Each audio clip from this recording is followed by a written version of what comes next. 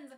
Welcome to Science with me. My name is Dr. Erica, and I am so excited that you are joining us in our Exploring Mars unit as we celebrate the landing of our new rover on Mars, Perseverance.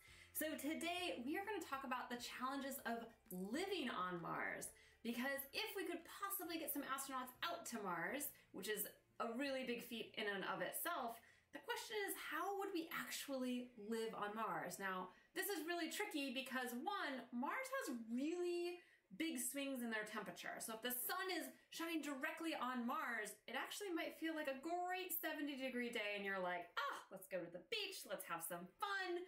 Minus the fact that Mars doesn't have any beaches because there's not liquid water that's accessible right now that's a little bit of a problem. But the other problem is also that you might like go out in your nice, lovely, warm 70 degree weather, and then a few hours later, maybe it's minus 110 degrees, which is massively cold. So there's huge temperature swings on Mars. That's one problem. We can't really survive those temperature swings. Another one is we can't breathe on Mars. That's a pretty big problem if you ask me. There's also the problem of like, ooh, when we look at pictures of Mars, it's like red and dusty and really, really dry. And last I checked, I love having some tea in the morning, which uses water. And I also love to eat some vegetables every now and then, or just I like to eat food every now and then, and that doesn't really exist on Mars either. The water we might be able to solve because there are some ice caps on Mars and we can maybe dig into those ice caps and warm those ice caps up and warm the ice into water. Maybe there's some solutions and that is what we are going to do today. We're going to plan some fun solutions by creating a habitat for Mars. Now what you need for this project isn't too much stuff. You need your recycling bin, which is my favorite thing to build out of, and then building materials. So I have my trusty old hot glue gun with a whole bunch of hot glue sticks. I got some masking tape if I find that the glue doesn't work the way I want it to. I've got some scissors, some popsicle sticks if I find I need it, and then I have my printout. Now on the printout, if you print it on two pages, it's slightly better. But one spot we have to make a plan so we can imagine what we would like to do. And on the other page, we have some things and areas that we could think about. And the nice thing is, is you could cut these out and you could tape them onto your habitat as labels. So these are some things to think about. Like we talked about the air supply and the heat. We didn't talk about how nice it is to be able to turn on our lights each morning um, and maybe cook on a stove. That's pretty fabulous. So electricity is needed. We haven't talked about, ooh, isn't it great that if I get sick or I break a leg, I can go to the hospital? No hospitals on Mars. So we need to figure out a medical situation. Meteor shielding. Earth has its own meteor shield. That is basically what we see when meteors are trying to come in and we see shooting stars. It burns up in our atmosphere. But Mars's atmosphere is not as thick as ours and things don't burn up. So we could actually start getting like kerplunked by a whole bunch of meteors. That sounds like not so much fun. We need to shield ourselves from radiation because if we don't, we could probably get a whole lot of cancer and that's no fun if we send our astronauts up and get all this stuff up and running for them to just die of cancer. So we need to make sure that they're protected. We talked about how great it is to eat every day. And then I thought it'd be fun to have like a 3D printing area because maybe you need sudden to build something and you want to be able to build it on site. You could do that with a 3D printer. You'll notice there's some blank spaces here because I thought up of a 3D printer. I thought that would be a lot of fun. Maybe you have some really great ideas yourself on what you could make there. So you can make your own labels there. So the first thing we want to do is we want to make a plan. There's no right or wrong way to do this, okay, my friends? We are just building and creating and thinking about problems and how we could possibly solve them. So I'm thinking my Mars base, I'm gonna have sort of a base part, which I'm gonna use as cardboard. I think you could do something like a big bubble that our astronauts live in. I'm kind of thinking my astronauts might live underground in the base, and maybe I have sort of pop up pieces where I have sort of like a greenhouse with my trees for my food. Maybe I have sort of a 3D printing or a science lab that's over here with my little computers and some chairs. Um, maybe I have, let's see, we talked about medical, so maybe I have like a little medical spot. Maybe it has a little sign, which is it's the little typical cross for a hospital. Um, maybe I decide I'm gonna have, ooh, my meteor shield, I knew that could be really important. So maybe I do want a bubble. Maybe I have something over here, which is like really strong lasers. And those lasers are gonna kapow meteors on site. That's kind of a cool, I kind of like that. Um, so you can be really creative with this. And once you have a plan, we can now set our plan in action. And that means we get to build. So with all of our building, you always want to be safe and careful, but also have a lot of fun. There's no right or wrong way to build, okay? I am gonna get the bottom of my base from an old Amazon box, oh like this. I'll just take this guy right here. That's beautiful for me. And let's see what I have in here. Ooh, I have a milk jug, which could be good because it's kind of clear for my greenhouse. Do I have anything else that's clear? Oh, look. I have an old pesto jar. This could be great as my greenhouse. I really like that. And I'm thinking I want to put some trees so I know that it's greenhouse. I just happen to have this green box. So I could cut out some trees. Maybe my trees grow checks. That would be kind of funny. Some trees out of this. That would be great. And then we'll know that it's my greenhouse. All right, I'm just gonna cut triangular trees of different sizes to go in that greenhouse of mine. Fat wide ones. And these guys, some of these guys have, ooh, they have some red. Maybe they're like kind of like appley trees. Who knows?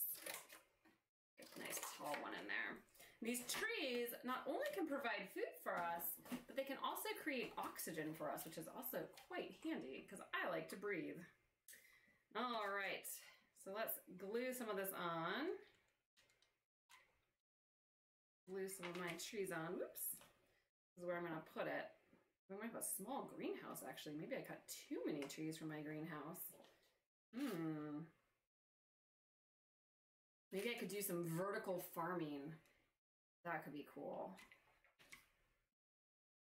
All these trees in here. I think it's gonna look great. You gotta hold it in place as you glue a little because the glue will be really hot and doesn't stick right away. I want to be careful about that.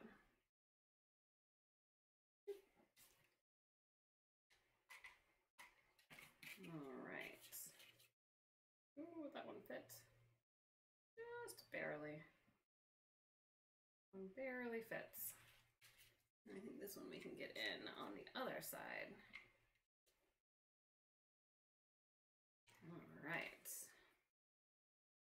Ooh, gonna be close. All right, and then I'm gonna put my greenhouse on so that my trees can live in a warm, temperature controlled environment. And they can have water that won't evaporate right into the air. These are all good things. I'm thinking that my astronauts are going to be underground so they can come up from underneath and this can all be bubbled in. All right, so now I've got my garden, my food growing area, so I could cut out my food growing label. If you wanted, you could keep the sort of explanation of what that is. You don't, you don't have to. This is my food growing area right there. All right, now I need a, ooh, I need the meteor shielding, and I really like the idea of a laser for that. I'm wondering what I could use for a laser. This red cap seems pretty great for part of it. Let's see. What other things do I have to choose from? Ooh, I like, I got this clear thing. This is not very lasery, but maybe it rotates. Ooh, if I had something that was like small that could rotate, that'd be cool. Let's see. Mm, maybe I'll use the lid of this. And, oh, here, look, I'll put it on top of a sour cream container. This will be where it houses all of my, ooh, that's much bigger. I'm gonna use this one. I'm gonna, this is gonna be where it has all the stuff, and ooh, I'm gonna put this on the end of a popsicle stick so it looks like it's shooting a meteor. I love that idea. All right, so I'm gonna put some glue here and I can stick my popsicle stick in. The hard thing about when you have these popsicle sticks that go straight in is you really gotta wait until the glue dries. And while I wait, I'll put this one down here Actually, maybe I'll go small and I'll just have this cap right here. And the cap will be on like a little rotator for me. That will free up more space on my base for other cool things. So once this dries, I'm gonna set it right here so that it can dry as I build other things. And that will be my laser beam. It'll shoot out my things and I can cut out my meteor shielding because I'm gonna shield from meteors with an awesome laser beam. All right, that's my meteor shielding area. Let's see, I need an air supply generation. Ooh, what would look cool as air supply generation? Let's see. A lot of cardboard in here. What recyclables are in here? Do I have a box in here? Hmm, could be useful. Maybe that's gonna be like something later. Some more cardboard in here. Hmm, not much. Maybe my air supply generation will be made out of this. And I can make it like a tent. That could be cool. Tent area that has like all these generators in them. I like that idea. All right, so I'm gonna do that. Now you'll notice that I don't have maybe everything that I want to have, but that's part of these building projects is making you think creatively of like, oh, I wanted to do that, but I can't because I don't have those pieces in my building bin. And that's okay. This is gonna be my air supply generator. I'm gonna put it by, I'm gonna put it by my food area because those trees will create oxygen, which we'll also can use for air supply generation. So I'll put that here, back here. Just like that. And I will do my air supply. Now my astronauts can breathe, which is really good. I know if I ever go to Mars, I'm gonna wanna be able to breathe once I get off that spaceship. So here's my air supply generation. And, ooh, I need to make something warm. Somehow I need to make things warm. Ooh, this is ready. Let's put this on. Just like that. We're gonna need a little bit more glue thing I love about glue is this hot glue is that you can build things so quickly. I really very much suggest grabbing one of these. All right, while I hold that, what could we use to generate heat? Hmm, ooh, metal. Metal's very warm. Maybe I could put some, like a metal area. It could absorb the heat from the sun on those sunny days and maybe it like somehow is insulated so that it can keep the heat in and we can use that heat. Oh, I like that. I'm gonna take my soup out.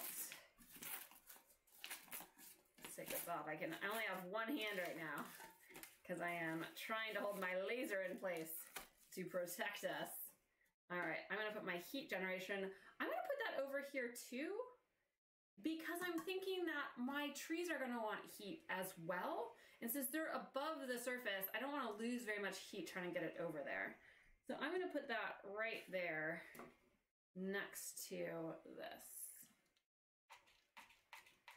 Let's plop some glue down. Put that on there. Just like that. And then I decided I did want some insulation. And maybe the insulation I use is just some paper bag. Could be some great insulation. So that it doesn't lose the heat as easily. All right, you can kind of see how I'm going through this. And, ooh, but I want the metal to show. Hmm, I need something to hold this up as I wait for it to finish gluing, don't I? Here. There we go. Now I have another hand again. That was a good way to solve that problem. All right, so let's insulate maybe just the bottom of it, of the can, because I really want to absorb the heat from the sun on those nice sunny days. Just like this. We'll just put this around as some sort of insulator. Keep that heat in there. And this is gonna be our heat generator. So I'll cut off that label and I can put it on there. And I'm noticing that, ooh, I need my electricity. I think it would be fun to have some big solar panels. I'm gonna cut some solar panels out from here. I'm gonna need some really big solar panels to be able to generate enough electricity for my base. So let's do that. We'll cut this piece off. There's gonna be just like one massive solar panel field right here. Come up right behind this guy so that we have lots of energy that we can divert to our meteor laser if we need to. So I'll put it right here. That's gonna be my solar panels. And I'll be able to bend that backwards a little bit more, but this guy's still drying, so I wanna make sure I keep that up. Sometimes it's hard to be patient as those things dry with the hot glue. We're so used to it drying quickly. All right, here's my electricity generators. There are solar panels. And I need some radiation shielding. That could really, I might need a bubble over this. Oh, but actually my astronauts are underground and the ground is gonna shield the radiation. I could put my radiation shielding right on the base of mine because my astronauts are gonna live underground. I can just put that right here. Mars's surface is gonna be our radiation shielding. Thank you, Mars. Fabulous, now I just need a couple little things. I need um, my medical area and I need my 3D printing area. Maybe one of them is this. I'm running out of space, it needs to be little. Hmm, what do I have that's little? I don't know. Here, we'll do tall, something tall. This will be my medical. Yeah, I like that. Okay. Let's get this. Let's see how. That's almost there. There we go. Now I've got that little guy there. You can really bend this back.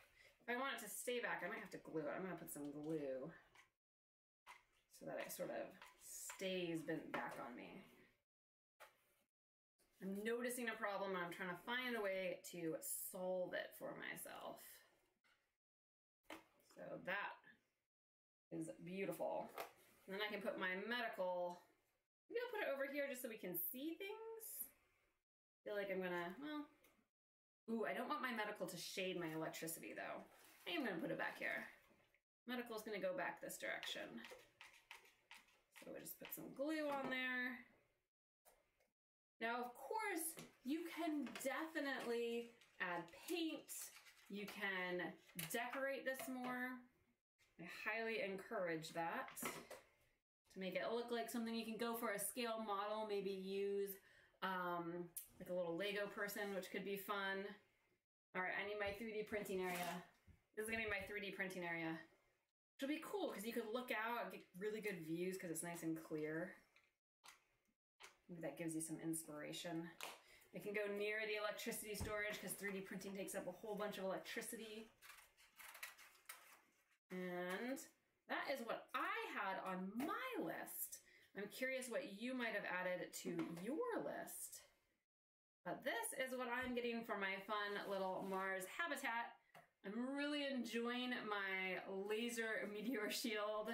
I really like that I was able to use Earth's land and its soil as radiation shielding. I think that's going to be really helpful so we don't have to build something really big.